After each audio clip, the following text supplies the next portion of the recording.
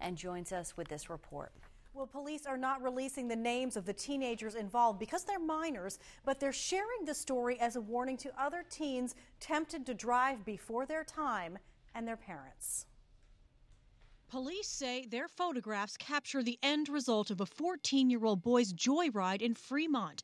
Police say he took the keys to his parents' SUV without them knowing, and that two other teen boys went along, a 14 and a 15 year old.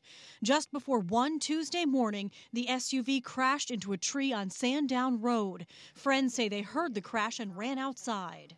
We were crying, and they were just like, oh my God, we're in so much trouble. And we couldn't even do anything but cry. All three teens were able to walk away from the crash despite the impact being so violent, a chunk of metal embedded in the tree trunk. And emergency workers say only the underage driver was wearing a seatbelt.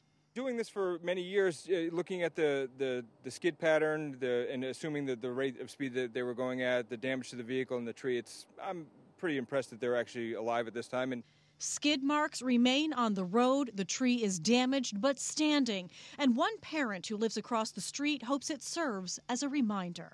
I was just really glad to see that they were okay. And I hope that they learned a good lesson that, you know, you really don't have nine lives and they're lucky to still have theirs.